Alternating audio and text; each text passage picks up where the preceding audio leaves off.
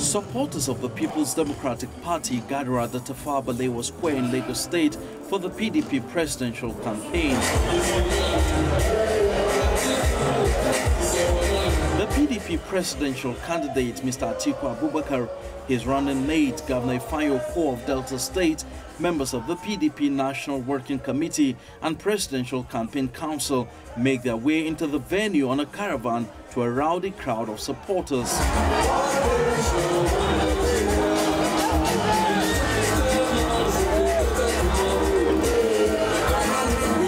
As the campaign kicks off, the PDP governorship candidate in Lagos State, Mr. Abdulaziz Adediran, addresses the crowd, promising to end thuggery motor parks and markets in the state. The current governor, when he took over office, our poverty rate in the state of Lagos, where Ambode left it, was 4.5%. Now, it is 8.5%.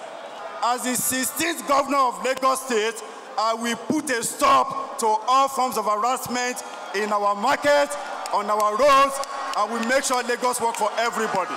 Two major areas the PDP says it will focus on if elected in 2023 are the economy and infrastructure. Go and campaign for the PDP so that with Atiku Abubakar as president in 2023, it will be well for Nigeria and it will be well for our youths. It will be well for our women. Atiku Abubakar is the only candidate that will implement those policies that will make it possible for Lagosians to seek to abandon poverty, to make sure that Nigeria becomes the greatest country in Africa.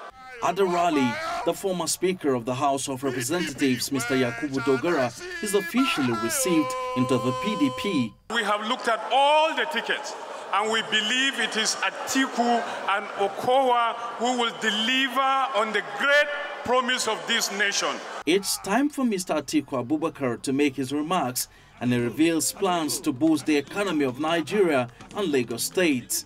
If you elect me as the president, I said and I promise, by the grace of God, I am going to set aside 10 billion US dollars so that we can empower our young men and women in small, medium enterprises. People were asking me, why am I going to get 10 billion?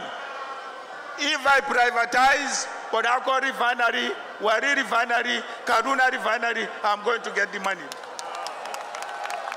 Lagos is the second state in the southwest to host Mr. Atiku Abubakar and he hopes that people will give him their support at the polls in 2023.